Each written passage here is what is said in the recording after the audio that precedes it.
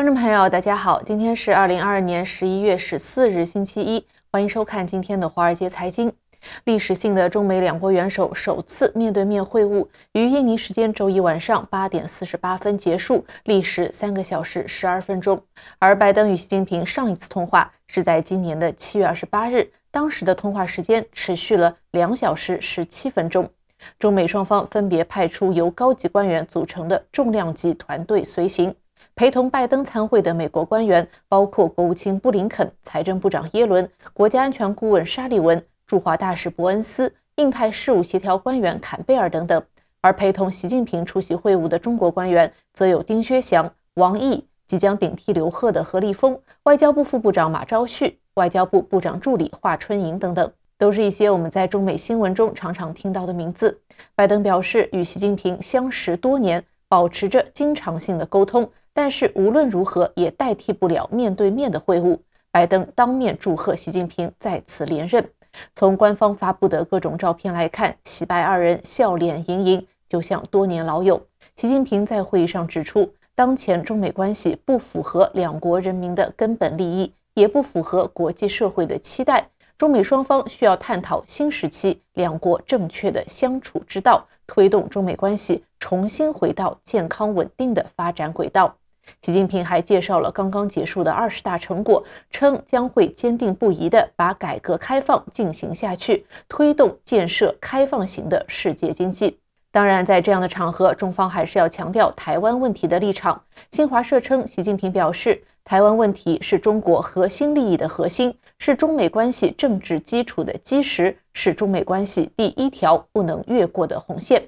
而与习近平对话三个小时之后，拜登在会后的新闻发布会上说，他不相信中国国家主席习近平短期内有袭击台湾的计划。而就在上个月，美国国务卿布林肯一再重申，他认为中国领导人不再接受现状，中国将会加速两岸的统一。拜登说：“我不认为中国方面有任何迫在眉睫的要入侵台湾的企图，我绝对相信不需要有一场新的冷战。”拜登在谈到习近平时还补充说：“我没有发现习近平变得更加有对抗性或者更加温和，他一直就是这样直接而坦率。”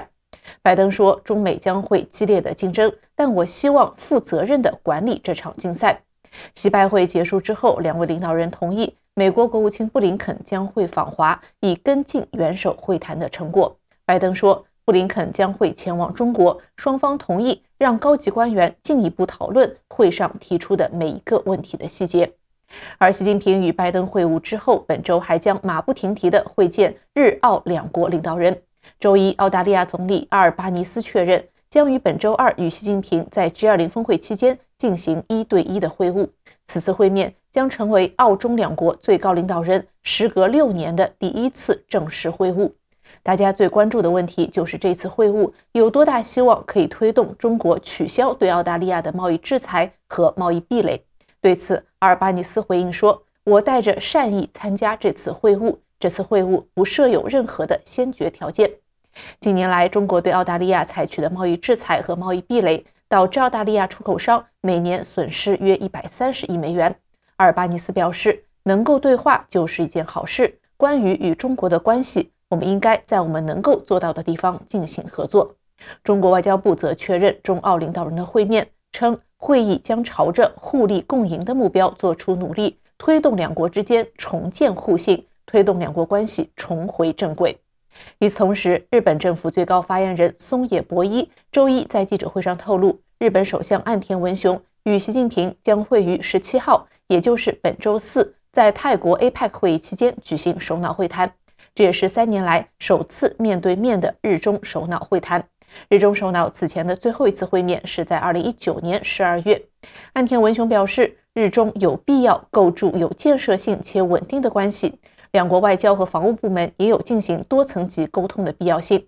日本媒体报道称。预计的会议议题将会包括中国船只驶入钓鱼岛附近有争议的海域问题，中国军队八月份向日本专属经济区发射五枚导弹的台湾相关问题。岸田文雄可能会提出台湾海峡和平与稳定的重要性。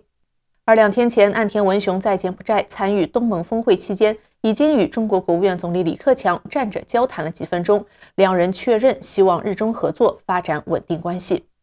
另外，投资银行摩根士丹利最新预计，由于美国就业市场保持弹性，美国经济有望在明年勉强躲过经济衰退。但是，英国和欧元区经济体恐怕就没有那么幸运了。根据摩根士丹利分析师在周日发布的一系列报告，中国在封锁边境近三年之后有望重新开放，这将带动中国经济和其他亚洲新兴市场的复苏。不过，报告说下行风险依然存在。预计明年全球经济将增长百分之二点二，这一数字低于国际货币基金组织最新预测的增长百分之二点七。摩根士丹利预测，明年发达经济体将会处于或者是接近衰退，而新兴经济体则将温和复苏。但是他表示，全球整体回升可能仍然难以实现。摩根士丹利还预测，中国经济在二零二三年将会增长百分之五。超过新兴市场百分之三点七的平均水平，而全球十个发达国家集团的平均增长预期仅为百分之零点三。报告表示，美国经济在二零二三年只是勉强躲过衰退，但是由于就业增长明显放缓，失业率继续上升，软着陆的感觉也许不是那么软。预测明年美国经济增长仅为百分之零点五。报告还补充说，二零二三年紧缩政策的积累效应也会蔓延到二零二四年。导致这两个年份的经济都会非常疲软。同时，摩根士丹利还预计，明年全球股票、债券都会出现反弹，建议投资者停止持有现金。分析师预计，美元正处于最后一波上涨行情，本季度就将见顶，然后在明年下跌。美元对日元可能已经见顶。大摩预计，明年亚洲汇率将会复苏，建议人们沽空美元兑离岸人民币，沽空美元兑泰铢。那么，以上仅为摩根士丹利的分析，与本台立场无关，还请大家自行斟酌。而随着习近平近期松口，首先允许在华的外籍人士接种 mRNA 疫苗，莫德纳宣布将在香港成立办公室，为香港和大湾区扩大生产 mRNA 治疗药物。莫德纳周一表示，将把 mRNA 技术方案扩展至香港及亚太地区，扩大生产 mRNA 治疗药物，贡献给香港和大湾区等更广泛的地区。莫德纳香港公司表示，除了用于对抗新冠病毒之外，mRNA 技术还将应用于其他的传染病、罕见病、心血管疾病等等的研究。莫德纳于今年二月宣布，将会扩大在亚洲的商业网络，并且在亚洲多地增设子公司。这次安排正是他的业务拓展计划的一部分。以上就今天华尔街财经的全部内容，感谢您的收看。如果喜欢，记得点赞并且订阅我们的频道。我们下期节目再见。